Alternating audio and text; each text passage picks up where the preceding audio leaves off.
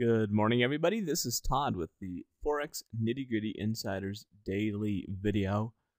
Uh, we're in the middle of the week here, guys, and uh, the markets have been trending uh, in a downward direction here on the uh, euro dollar. And this is really what we like to see happen when we're looking for opportunities to trade the simple trading method. Uh, when we've talked a lot in the past about knowing what direction that things are going and being able to identify our trend here is the key point of making this successful. And so, if we see that the trend is in a downward direction, we want to look at opportunities to short whatever the pair is.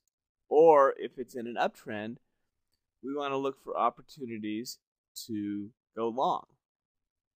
And so, regardless of what uh, direction it is, we have the ability with the simple trading method to trade that and be profitable either direction.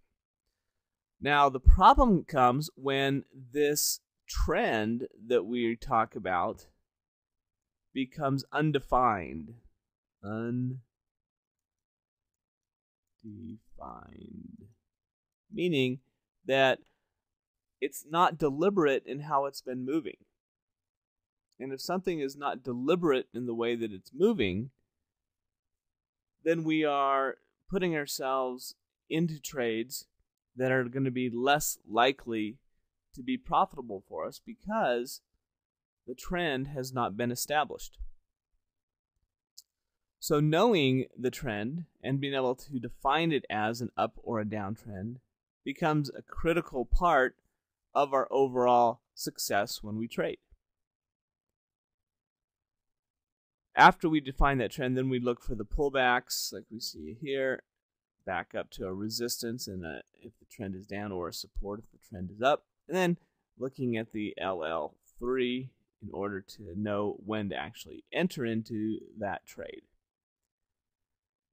So this being an hourly chart, we don't have a lot of a lot of uh, uh, or we have fewer choices, I should say, than some of the shorter time frames. And when we see this, the other thing that we want to take into consideration, and by the way, let me uh, put on here just a simple moving average, 40 period simple moving average, and you can see pretty clearly that the trend is moving down.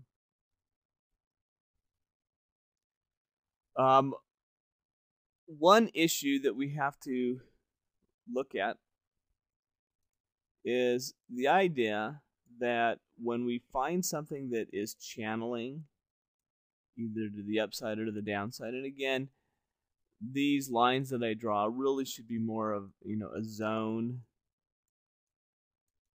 or an area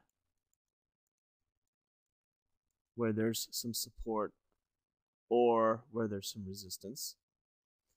Um, and when we're in a downtrend like we are, we want to be buying at resistance areas.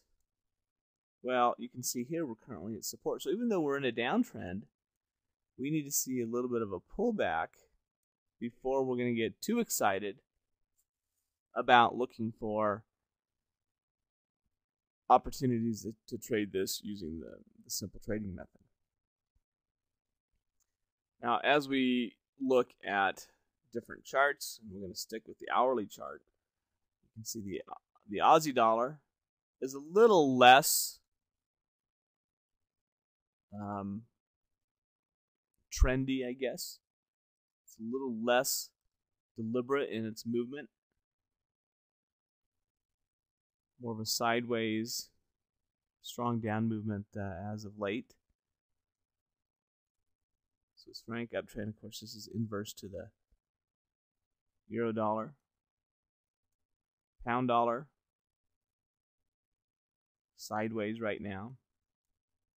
This Japanese yen, a little more of a downtrend and the US CAD is in an uptrend. So looking for those conditions to be met is critical, and sometimes because we want to trade, we force those issues, we force those trades when in reality um, that makes for poor trading.